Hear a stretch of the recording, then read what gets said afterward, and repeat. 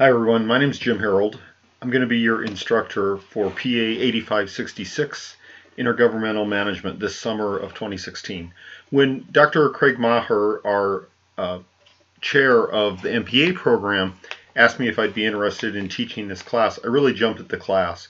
And that's because I'm really interested in how governance gets done in the intergovernmental uh, environment because that really is, to a large extent, the way we we execute a lot of government programs. And so, um, what this course is about is just brushing on that and then allowing you to look at some specifics of intergovernmental management.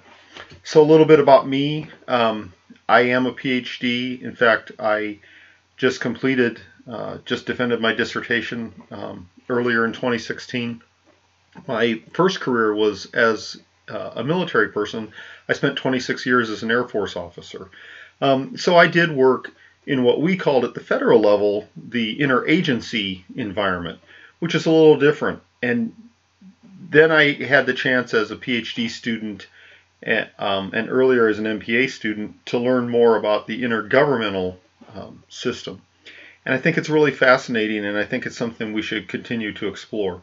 So the way we're going to do that during this summer term is we're going to start out with uh, a little bit about federalism because I think that's really important for you to understand um, the foundations of federalism how, and how we got to where we are today.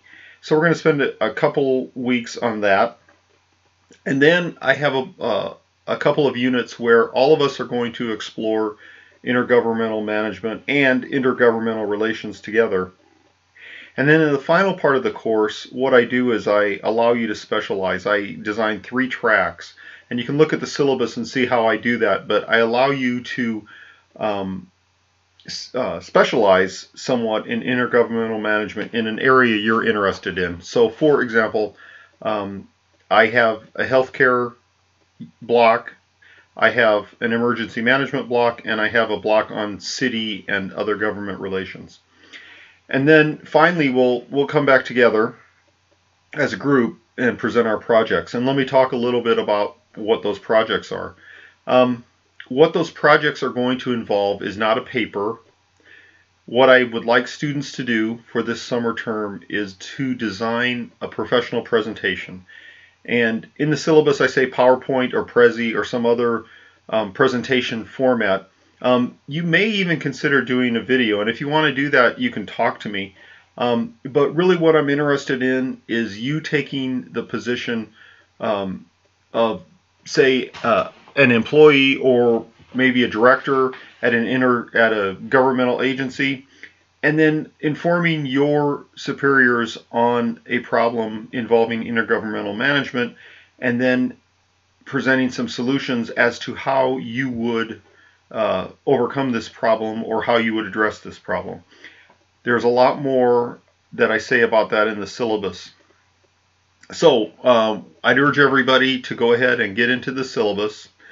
Uh, remember that Blackboard is going to be down uh, from May 11th through May 14th. The Blackboard office says it could be a shorter period, so let's hope that it is. But we will get right into the material on the first week of class starting on May 16th that's why I've made this first week available now um, as of May 5th. So um, go ahead and start getting into the material. If you do have questions, the very best way to contact me is through my email address, my UNO email address, jharold at unomaha.edu. Um, I do have an office in the CPACS building, 113B, but since it's summer, uh, I wouldn't count on me being there unless you unless you make arrangements in advance. And I will meet you on campus uh, for those of you who live in Omaha, uh, typically during daytime or even in the evening if we can make advance arrangements. I'm always willing to sit down with a student and go through questions. So let's go through this intergovernmental management together and let's uh, let's all benefit from it. Uh, I look forward to working with each of you. Thank you.